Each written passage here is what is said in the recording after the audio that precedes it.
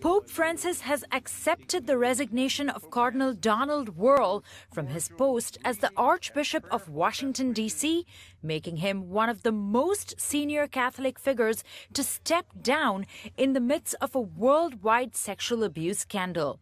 77 year old Wuerl has come under fire for allegedly mismanaging and covering up sexual abuse cases when he was Bishop of Pittsburgh between 1988 and 2006. He faced increased calls to step down after being implicated in a high profile Pennsylvania grand jury report released in August.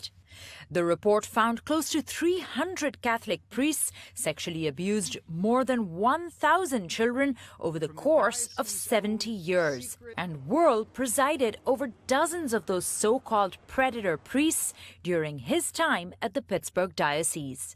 You see, church officials routinely and purposefully described the abuse as horseplay and wrestling and inappropriate contact.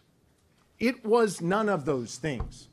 It was child sexual abuse. In a letter by the Pope released in Washington Friday, Francis did not make an example of Wuerl over an issue that has threatened his papacy.